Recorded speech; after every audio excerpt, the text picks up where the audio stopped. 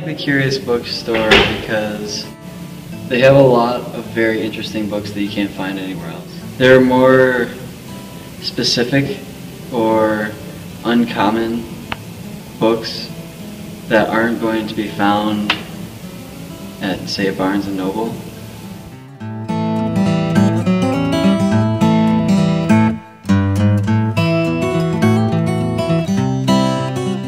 It's a used bookstore. And so these books have all been owned by someone else at some point.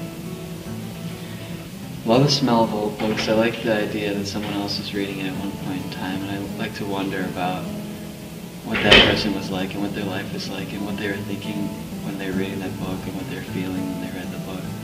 It's really cool to explore all of the different things that they have